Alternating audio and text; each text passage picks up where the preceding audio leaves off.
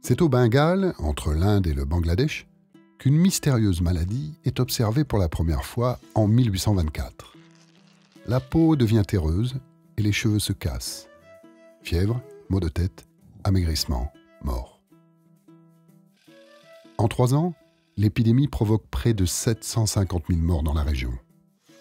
On baptise ce mal Kala Hazar, qui signifie mal noir. La maladie se propage en suivant les voies de communication, routes et fleuves, et frappe par épidémie tous les 15 à 25 ans.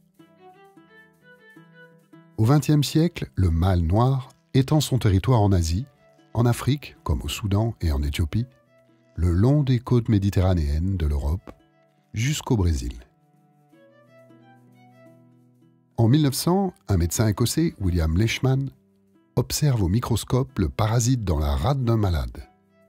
Dès 1903, on soigne la maladie à base de sel d'antimoine, très toxique, mais très actif contre les parasites. Dans les années 20, on produit une synthèse d'un dérivé de l'antimoine beaucoup moins toxique, le pentostam. En 1924, on découvre la véritable cause de la transmission, le vecteur du parasite, un insecte piqueur, une petite mouche argentée, le phlébotome. Dans les années 50, l'Organisation mondiale de la santé lance une grande campagne de pulvérisation de DDT, un insecticide pour éradiquer le paludisme. La tentative d'éradication échoue, mais l'insecticide se révèle, contre toute attente, fatal pour le phlébotome. Dans le courant des années 60, le calahazard semble alors éradiqué. Mais les moustiques du paludisme résistent de plus en plus au DDT. Progressivement, on abandonne les campagnes de pulvérisation au début des années 70.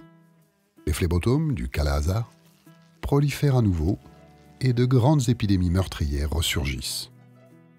L'Inde, entre 1977 et 1980, connaît une épidémie de 300 000 cas. Au Soudan, en pleine guerre civile entre 1984 et 1994, 100 000 personnes sont emportées par le mal noir. Et de nos jours, chaque année, la maladie tue entre 20 000 et 30 000 personnes.